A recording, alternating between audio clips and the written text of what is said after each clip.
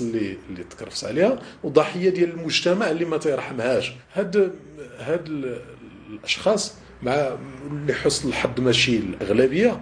الأغلبية نجحوا في تكوين أسرين وفي بناء أسرين ويعتبرون مثال للكد والعمل بحيث أنه نقلوا أسرا من أوضاع مزرية إلى أوضاع أصبحت تعيش بكرامة والمهاجرين قدموا خدمات كبيرة لهذا الوطن ولهذه المنطقة ولهذه الجهة. نحن نتحدث عن البعض. أنا تنقول هذا البعض هم خليجيين صغار لأنه هي نفس العملية. أي شخص تتنزل عليه واحد الثروة كبيرة هاد الثروة ما تعرفش يتعامل معها تتصور بأنه هاد الثروة تتسمح ليه بأنه يقوم بأي بأي شيء.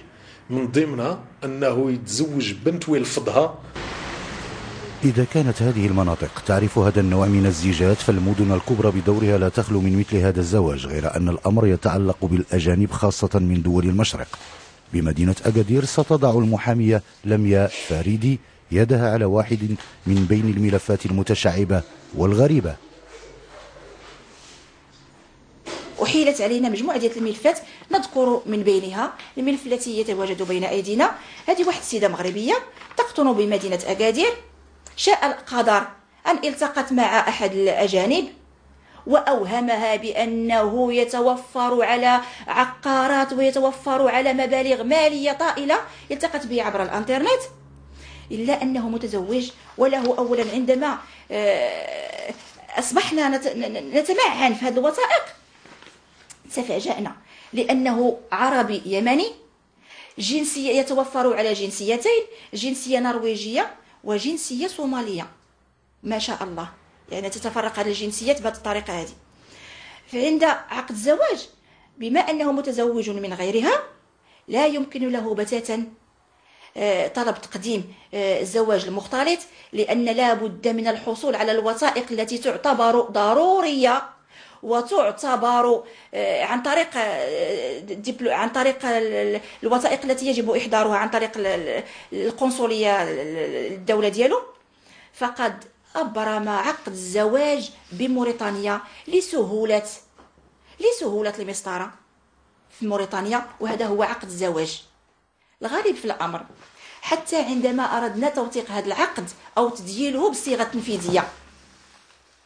عندما أردنا تدييله بصيغة تنفيذية أنها وهي تقطن بمدينة أكادير ذهبت لمنطقة أبعد من مدينة أكادير اللي هي منطقة سمارة.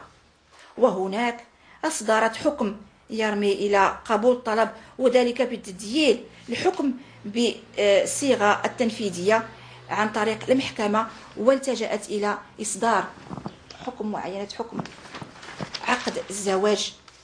وهذه السيدة حاليا عندما تزوجت كانت تقطن مباشرة بعد زواجها عندما أوهم بأنه غني وبأنه حدد لها البيت الزوجية بمصر واستقرت بإحدى الشقق بمصر مدة ثلاثة أشهر دون مساءلة عنها دون معرفة وضعيتها. تركها للجيران هم الذين كانوا ينفقون عليها. مباشرة رجعت لمدينة أكادير واستقر ولا تتوفر على البيت الزوجية بل استقرت بأحد الفنادق. يعني عندما كان يحضر إلى المغرب كانا يلتقيان كأنهما عاشقان وليس متزوجان. كان يلتقيان بأحد الفنادق بمدينة أكادير مدة خمسة أيام ستة أيام. حاليا آه، أرادت أن تتقدم إلى المحكمة. قصد صدور عقد طلاق إلا أننا لم نتمكن إلى حينه وإلى يومنا هذا. بتقديم أي مسطرة هل نتقدم مسطرة الغيبة؟ هل مسطرة الشقاق؟ هل تطليق الضرر؟ حتى إذا التزمنا وحددنا مثلا تطليق الضرر لأن لعدم المعاشرة الزوجية. أين هو المكان؟ فعندما نتطرق إلى المشاكل أي مشاكل قانونية أين هو مكان التي يجب تبليغ الاستدعاء قصد حضوره إلى المغرب. إشكالية قانونية متشعبة تواجهها كل من سقطت في فخ هذا الزواج الوهمي كضبط إقامة الزوج وكذا تبليغه في حالة تنفيذ الحكم عليه لتطول معاناة الزوجة الضحية. هذه الفتاة بدورها دخلت دوامة لم تستطع الخروج منها. كيف ذلك؟ القصة ديالي هي أنا كنت خدامة. كنت خدامة على دارنا و... وعندنا حنا حالة ضعيفة خدامة على دارنا وعلى راسي. تلاقيت مع هاد السيد. تلاقينا. النهار الأول قال لي بغيتك تمشي معايا. قلت لي أنا ماشي من داك النوع. صافي قال لي واخا ما أنا نيت تنقلب على شي وحدة معقولة وداك الشيء وبغيت نتزوج إلا لقيتك زعما معقولة. وتلاقيت معاه النهار اللي غي نهار لا غد لي غيمشي بحالاتو هو كاين في في برا. شد من عندي التليفون قال لي واش ممكن التليفون؟ قلت ليه التليفون نعطيه لك ويني داكشي اللي بغيتي انت أنا ما بغيتو انايا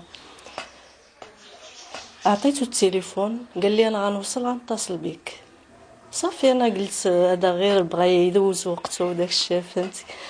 قلت صافي ما غاديش يتصل بيا. فعلا وصل مع الست العشية اتصل بيا. قال لي أنا وصلت بخير وعلى خير. واش ممكن نبقاو على اتصال؟ قلت ليه واخا. إلا كانت نيتك حسنة حيت أنا صافي. قلت لك شنو كاين؟ صافي بدا كيتصل بيا. مرة مرة مرة كل سيمانة هكا تيتصل بيا. أه تعرفنا غير في التليفون. معرفة غير في التليفون و وقال لي واش تقبلي تزوجي بيا واخا أنا زعما راجل كبير وداك الشيء. قلت ليه أنا باغية المعقول ما باغياش زعما نتفلا واخا يكون راجل كبير أنا باغية المعقول. بغا نستقر. بعد زواجها وحلمها بحياة أفضل ستكتشف هذه الزوجة بعد شهور قليلة أنها كانت ضحية استغلال لكون الزوج ذهب ولم يعد. حيث أصبحت تعيش المنزلة بين المنزلتين. لا مازال ما طلقني ما والو. معلقني هكايا والنهار اللي دويت معاه قلت ليه أجي جي للمغرب نت... هادشي قرب رمضان. اتصلت به قلت ليه أجي إلا ما تفاهمناش كل واحد يمشي بحاله. قلت لي أنا ما غاديش نلصق فيك. واخا قلت لي أنا خرجتي عليا وخرجتي على حياتي وخرجتي على دارنا مساكن غير ضعاف أنا اللي كنت خدامة عليهم. المهم عندي الله غادي يوقف معايا. قلت لها جي ما بغيتينيش نتفاهموا. فاس فاس ما تبقاش تهضر معايا في التليفون. قال لي صافي أنا غادي نشوف كي غندير. نقاد راسي مهم ونحضر راسي قال لي ونجي. صافي من تما عاوتاني ما تلا ما تلاجا ما تلا اتصل. حنا تزوجنا دابا تقريبا ثلاث سنين. وكما قلت لك تيدوز معايا شهر وتيمشي تما تيدوز ربع شهور ثلاث شهور تيجي تي المهم ثلاث سنين نسير واجي وصافي ما وداك الشهر اللي تندوز معاه ما نقول لك ديك ديك ثلاث شهور الأولى اللي تيمشي فيها وتيجلس تما ثلاث شهور ويرجع اللي دوزنا شوية شوية. وما الباقي غير غير صابرة. اكتشفت بأنه ملي كان ملي كان في الأول كان بحال الزواج ديال المتعة. بحال داني أنا حيت النهار اللي تلاقينا قال لي تمشي معايا ما مشيتش معاه قال الطريقة اللي غادي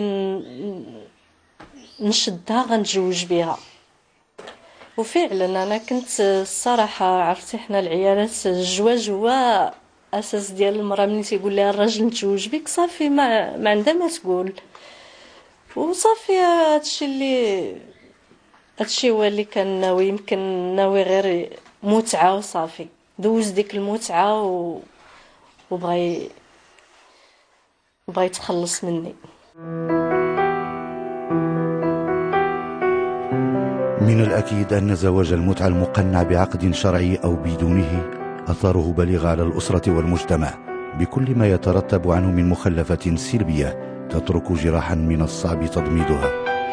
لذلك من الأجدر انخراط الجميع للحد من هذه الممارسات التي تزيح رداء القدسية عن مؤسسات الزواج. مؤسسة تشكل عماد الأسرة ونواة المجتمع واستمراره واستقراره.